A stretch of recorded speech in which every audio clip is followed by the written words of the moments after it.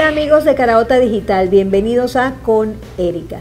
La migración en estampida de los venezolanos hacia otras tierras ha generado tantos inconvenientes en la región que hasta en la OEA se ha creado un grupo de trabajo para analizar ese tema. Nosotros hemos querido conversar sobre él con el ex embajador de Venezuela ante la Organización de Naciones Unidas, el doctor Werner Corrales, a quien agradecemos su presencia. Muchísimas gracias por acompañarnos. Muchas gracias a ti, Erika.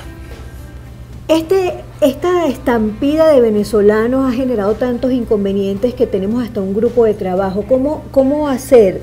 ¿Qué, ¿Qué, va a pasar con ese grupo de trabajo?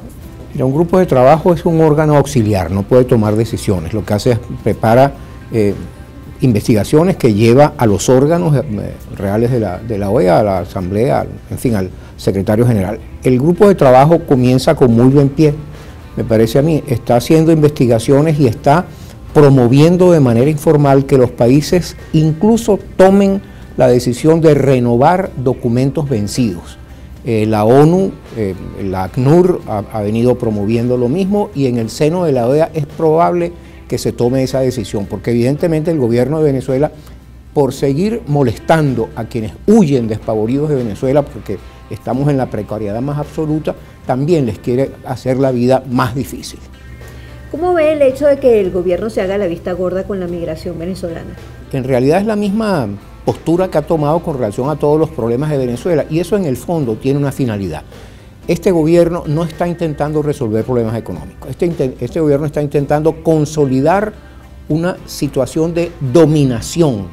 Lo hace a través de la, tortura, de la persecución, de la muerte de manifestantes, pero también a través de condicionar, por ejemplo, la ayuda eh, que le da a algunas familias eh, muy pobres, condicionarlas a tener el, el carnet de la patria. Hay que verlo como una más de sus fechorías.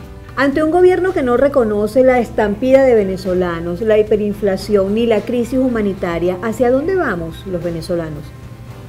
Nos lleva a un colapso total. Lo que pasa es que los países es muy difícil que toquen fondo. Cuando yo oigo a veces a algunas personas diciendo esto está tan mal que va a desencadenar inmediatamente un desenlace, no creo que sea así. Para que haya un desenlace, además de que exista la situación que está generando el Estado, tiene que haber un liderazgo que proponga una acción en una misma dirección.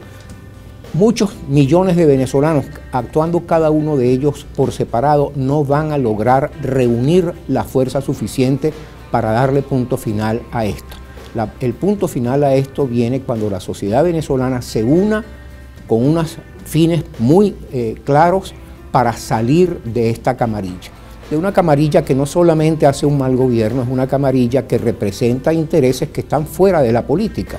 Eh, no es de, nadie desconocido cómo se acusa internacionalmente a dirigentes del gobierno venezolano de estar metidos en, en temas de lavado eh, de dinero, en, en eh, narcotráfico, en fin, esas acusaciones sobre las cuales no ha habido un juicio definitivo que lleve a pruebas, esas acusaciones señalan que en Venezuela pudiese haber lo que se llama un Estado fallido, un Estado que en su extrema debilidad se ha convertido o que se puede convertir en el refugio del crimen organizado y de, y de la eh, explotación de toda clase de intereses malsanos.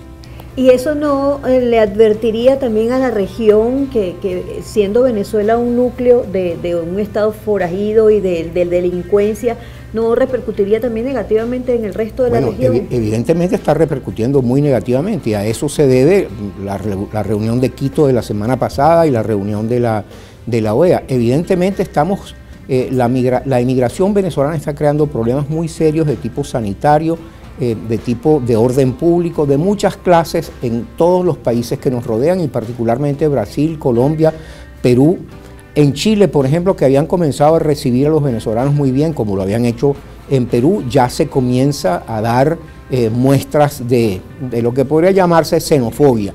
Una de las decisiones de la OEA es hacer un llamado a los organismos de, las, de cada uno de los países para que promuevan una recepción solidaria y se disipen los uh, primeros, las primeras señales de xenofobia que se están dando. En un principio de este régimen la migración venezolana era de profesionales, ahora somos casi mendigos. realmente la, migración que hay en los últimos días eh, de venezolanos en América Latina es de gente que se va en situación de indigencia y que llega ya no solamente sin documentos, que llega sin ninguna eh, posibilidad de encontrar una, una fuente de ingreso estable porque en general son gente que tiene una calificación relativamente baja. ¿Qué acciones podemos ver en los próximos días respecto a Venezuela? Mira, yo diría que en los próximos días deberíamos esperar de los gobiernos que haya eh, una acción interna en sus países para reducir los brotes de xenofobia. Eh, creo que hay dos situaciones que nos están haciendo difícil en, en las organizaciones internacionales que haya más movimiento en favor nuestra. El gobierno de México, por una parte, que está a punto de cambiar, no está queriendo tomar la posición protagónica que tomó, por ejemplo, en el, grupo de Lima. El gobierno de Brasil no está acompañando, debido a que se presentan muy pronto las elecciones, no está acompañando las eh, nuevas iniciativas. Yo, yo siento realmente que va a ser importante lo que se hizo en la OEA la semana pasada para promover que en, todos estos países haya una posición distinta, mejor, que elimine los brotes de xenofobia. Pero no esperaría de la OEA nuevas eh, decisiones hasta dentro de algunos días. Gracias al doctor Werner Corrales, ex embajador de Venezuela ante las Naciones Unidas, por acompañarnos a analizar este tema que por supuesto seguirá siendo eh, tema de interés en los próximos días. A todos ustedes los invitamos a estar pendientes de nuestras redes sociales y de nuestros contenidos en nuestro canal de YouTube. A todos, gracias por estar allí.